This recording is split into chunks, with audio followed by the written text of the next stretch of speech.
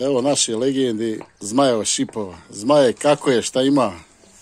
Gospodine Mašću, uz dužno poštovanje i kao rudara i sve tvoju tu uigranu ekipu, pozdrav za sve one koji žele čuti za Zmaja od Šipova grada, koga voli stara i mlada, ja sam taj i daleko sam se čuo i oglasio, a uživam enormnu popularnost.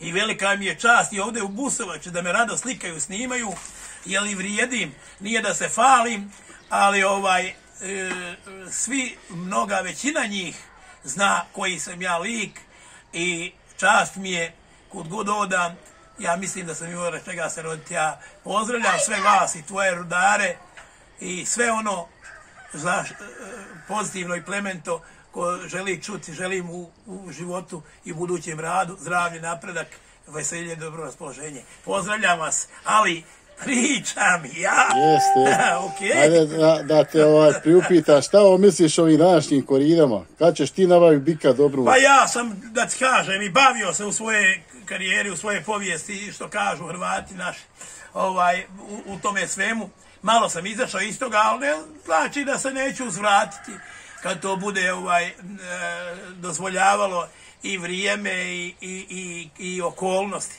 A sad za sad ovaj, ja posjetim i koride i odem na taj skup i vidim se starim prijateljima, trgujem nešto, pojedem kilu mesa, počastimo se i tako.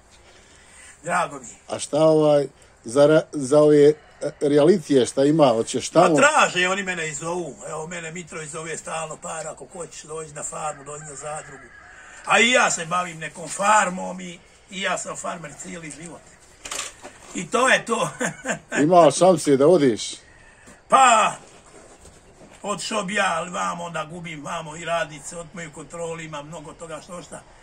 Vamo onda gubim, tamo zarađujem, vamo gubim što kažu stari ljudi, na mostu gubiš na čupri, zarađuješ pa jedno s drugim, vodu voari, vodu ladi, vodu kad se uskuva, onda ohladi, pa tamo vamo, onda desi se da bude još manje, ispari se i tako.